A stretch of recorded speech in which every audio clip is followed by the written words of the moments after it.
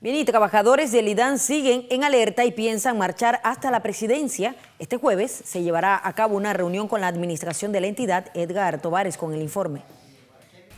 Se acorta el plazo que le dio el sindicato del IDAN a la directiva de la entidad y al gobierno. Será este próximo 16 de julio cuando se volverán a sentar en la mesa y esperan recibir una respuesta que los haga desistir de la huelga indefinida. Lo explica Mercedes Cigarruista, secretaria del movimiento. Luego depende de, de la reunión. Si nos dan respuesta positiva, definitivamente no tenemos por qué marchar, pero si no nos dan la respuesta que espera el trabajador, eh, invitaremos a la, comunidad, invitaremos a los familiares, invitaremos a todos la familia IDAN, porque todos somos IDAN y todos somos salud.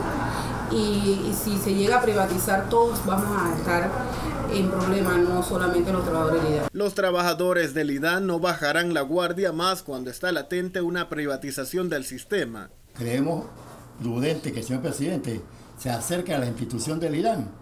Le hacemos la invitación para que se dé cuenta de viva voz lo que estamos solicitando. Que se ponga el uniforme celeste, que venga aquí, que el IDAN no es la fachada principal de la institución, es la parte posterior, están los trabajadores de las 24 horas 72 horas solamente estamos trabajando producto de falta de personal. Miembros de FENACEP se mantienen vigilantes que se les garantice los derechos a cada uno de los trabajadores. Bueno, que se llegue al diálogo, eh, los compañeros están a toda disposición de brindarle el servicio que eh, brindamos a, a, a, los usuarios, pero a la vez que se les retribuya eh, con un salario digno para la actual canasta que está muy cara. Este jueves será decisivo para la institución toda vez que si no logran el aumento de los 100 dólares y la adquisición de equipos y personal para hacerle frente a los múltiples problemas que tiene el país y que la entidad no es capaz de hacerle frente.